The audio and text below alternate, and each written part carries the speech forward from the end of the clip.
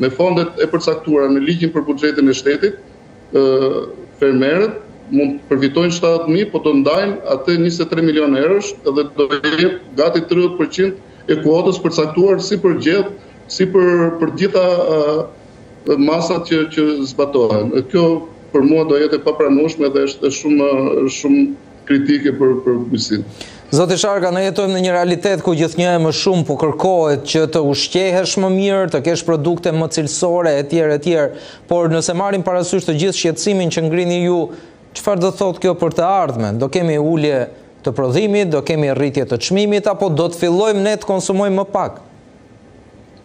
Po, indikatorët janë të lexueshëm. Ne në tremujorin e tretë të vitit 2023 kishim për herë të parë mas disa mas një periudhe recesioni stagnacioni kishim rënie me 0.4% të produktit brendshëm bruto, produktit bujqësor.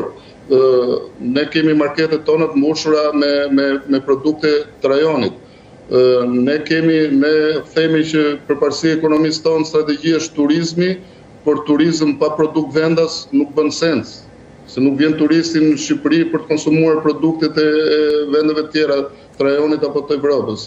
Është është e natyrshme që turizmi është shumë problem i madh. Unë nëse më lejoni do të sqaroja edhe një pikë tjetër që lidhet me skemat, që trumbetohet nga qeveria si skemat janë funksion të kooperimit. E keni gjuar besoj që citojnë termin grupime fermerësh. Nuk është term i ri, ka funksionuar para dy vjetësh, kur dolën kur u dha 20.000 lek të reja për hektar serrë, edhe me kufi me dyshemen një hektar, u lejua nga presioni i fermerëve dhe sindikatës protestave që ne bëmë në atë kohë deri te parlamenti, u pranua që fermerët të grupoheshin në me, me sipërfaqe më të vogla dhe të mbushnin sipërfaqen një hektar dhe aplikonte një duke deklaruar dhe fermerët e tjerë dhe subvencioni u shkonte në për llogari secilit.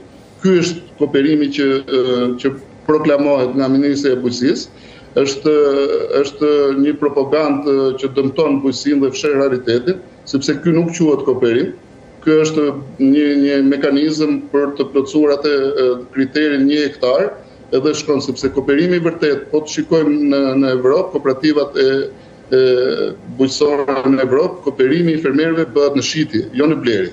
Sepse për këto grupet e fermerëve është vënë si kriter që duhet të kenë të njëjtën faturë blerje fidanë apo inputesh tjera bujqësore. Thelbi i kooperimit është që fermerët bashkohen në shitje dhe po të shikosh qëllimin e kooperimit dhe mënyrën se si është bërë në perëndim. Në Itali, për shembull, në rast se ti shet produktin si fermer i veçuar, sepse të gjithë prodhojnë si fermerë të veçuar, por kur e shesin, e shesin tek kooperativa.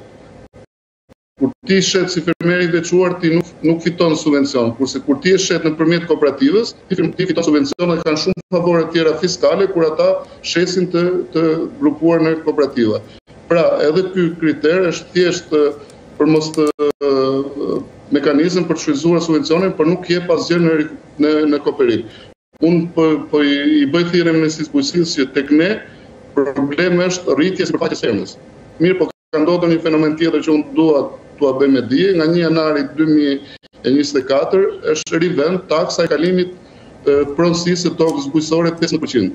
Ka qenë e hequr për disa vite për të favorizuar të zmadhimin e fermave dhe dhe shitblerjen e tokës bujqësore nga operatorë bujqësor që operojnë në fushën e bujqësisë, me qëllim që të rritet sipërfaqja e fermës, se e kemi dhjetë herë më të vogël nga mesatarja e Evropës, dhe rivënia e kësaj takse e pengon kooperimin dhe nuk e nxit.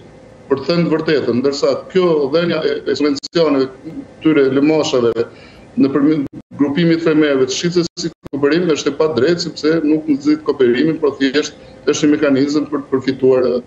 Doja ta shpjegoja këtë sepse unë e quaj problem të madh dhe qeveria vetë e thotë si problem për të zgjidhur e trajton, por mënyra e zgjidhjes dhe për të famshmet shoqëri të bashkëpunimit bujqësor që në Shqipëri janë me gishtat e dorës, sepse ka një ka një hendikap brenda, që të krijosh një shoqëri të bashkëpunimit bujqësor minimalisht të duhen shtatë fermerë.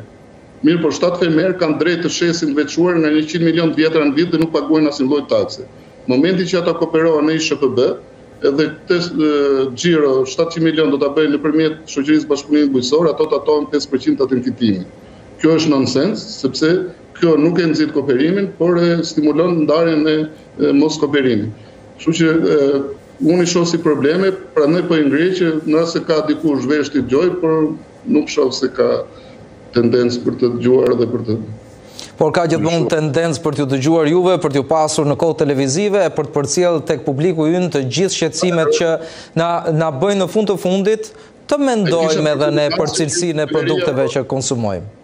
Patjetër, patjetër që po. Për Vendin Marsit, kurse ju e falenderoj nga zemra, sepse është një problem shumë i rëndësishëm dhe bëni më të mirën e mundshme për ta për të dëgjuar dhe zërat ndryshe dhe që ndoshta unë pretendoj që themi disa të vërteta që janë të pamohueshme me prova dhe me fakte. Faleminderit juve zoti Sharka që na zgjidhni ne që gjithmonë të nxirrni në pah problematikat që ekzistojnë. Faleminderit që ishit gjithashtu Pjesë e këtij programi në një ditë fundjave kur mund të ishit si shumëkush tjetër duke drekuar jashtë. Faleminderit. Nderi është i juaj, faleminderit shumë.